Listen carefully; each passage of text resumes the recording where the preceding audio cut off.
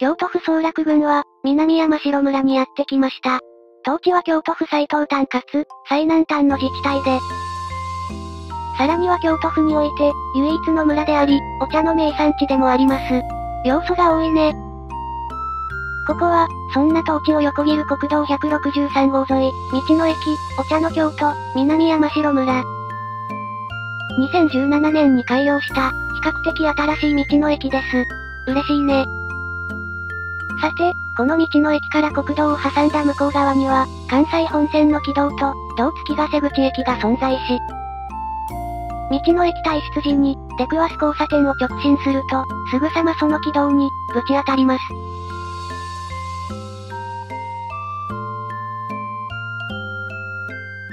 すぐ奥、青看板の交差点が国道163号ですね。右左折すれば、国道に乗れますが、今回は直進します。新品感の強い交差点ですね。正面に青々とそびえるのが、関西本線の、軌道が敷かれた土手です。直進した先のこの道は、京都府道753号線。左にぐいっと曲がりつつ、高度を下げ、ボックスカルバートをくぐり、軌道直下を通過、今山集落に至ります。さてこの時、車載カメラの映像だと、わかりづらいのですが、すぐ右手に、こんな歩道のトンネルが口を開けています。こちらは Google マップ及び、村のトンネル修繕計画資料曰く、その名を今山隧道。なお左の新しい方は、そのまま新今山隧道。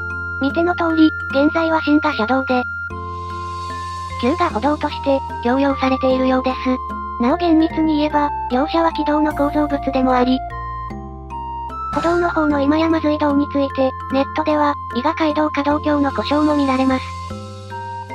つまり、一般道路に架けられた、鉄道の橋ってことですね。ちょっとややこしい。こういう物件、トンネルと扱うか、橋梁と扱うか、それはまあ、宗派の問題だとは、思いますが、今回は、南山城村トンネル町寿命化修繕計画内に、今山隧道との記述が見られることから、この故障、及び扱いを尊重することとします。迷ったら行政の資料ですね。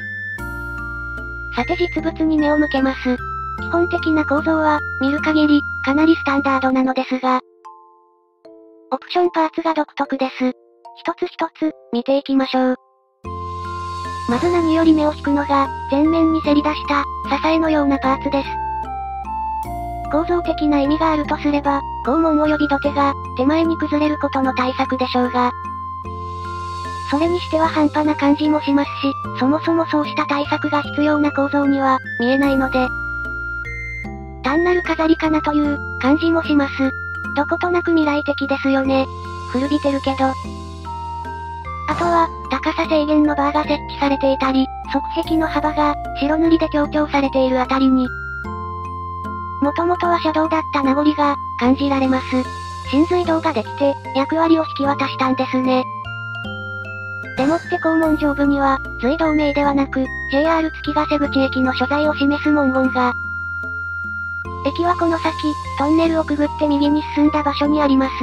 その案内ですね。くぐっていきましょう。追加パーツ以外は、見たところ単なるコンクリトンネルですが。入ってすぐ、ゴミ出しのルールに関する縦看板。反対側出口に、ゴミ捨て場があるようです。出水対策と思われる、半透明の施工。丁寧な修繕のもと、使われているのが感じられます。つ、作りが突然、石材と赤レンガに、おっと、そこにも張り紙が。これもゴミ出しに関する、注意書きのようです。粗大ゴミに関する、記述が目立ちますね。ネットで見られるレポートの中には、道内に出されたゴミが置かれた写真もありましたので、当地では、トンネルの内部まで含めて、ゴミ出しの場所として、親しまれているようです。大液トンネルのセカンドライフ、茶葉の熟成、キノコ栽培、錦鯉の養殖など、色々ありますが、こういうパターンも、あるわけですね。歩道圏、ゴミ出し場所。側壁が石材で、天井部がレンガアーチ。本水道、本来の構造でしょう。なおこの構成は、この他東海道線をくぐる水路や歩道にも見られます。一つの様式なんでしょうか。さて反対側です。右のカゴはゴミ出しスペース。振り返ると。見事なレンガの肛門です。セリ石と要石は石材ですね。これこそが今山水道の、真の姿。竣工年次は、明治30年だそうで。竣工から実に、124年もの歳月が、経過していることになります。それで未だに歩道トンネルとして、地域に寄り添い、地元の交通を支えているのですから。非常に涙ぐましく、けなげで、微笑ましい物件です。いい子だね。構造は、セリ石、要石、帯石、火災石、パラペット、などなどが石材とレンガを織り交ぜて構成され、非常に美しい仕上がりです。アーチ部分が石材製なのが、メリハリが効いていていいですね。水の道路トンネルなら、パラペットの中央に、トンネル名やらなんやらの、変額が、ある場合がほとんどですが、この肛門には、痕跡すらないように見えます。こうした点からも、本物件がトンネルではなく、橋梁として作られたという見方ができますね。さらに見逃せないのが、レンガの積み方で、短い面と、長い面が交互に積まれています。この積み方は、フランス積みというもの。比較的、珍しい積み方の種類で。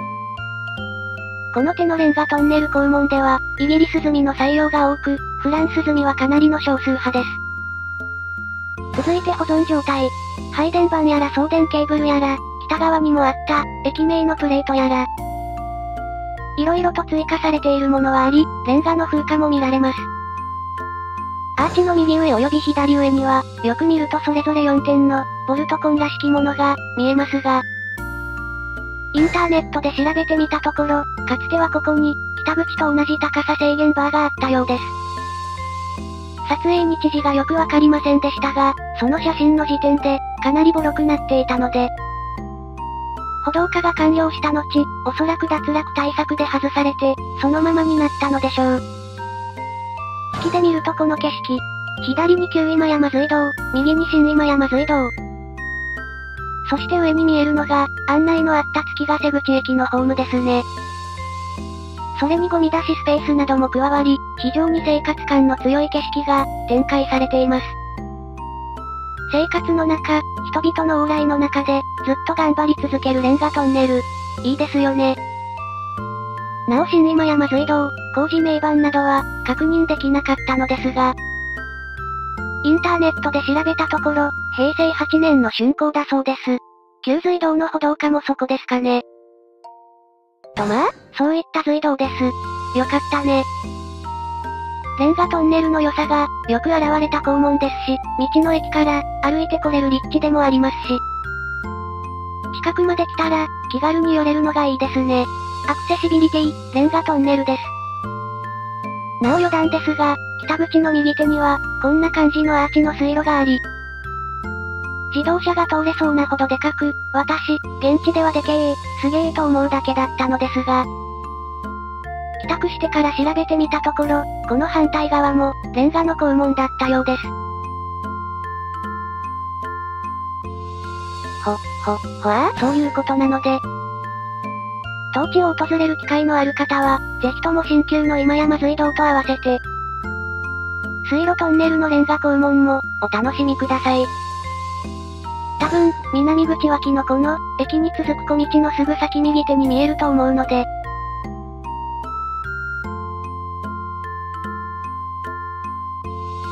現地の情報は、きちんと調べてから、訪れようね。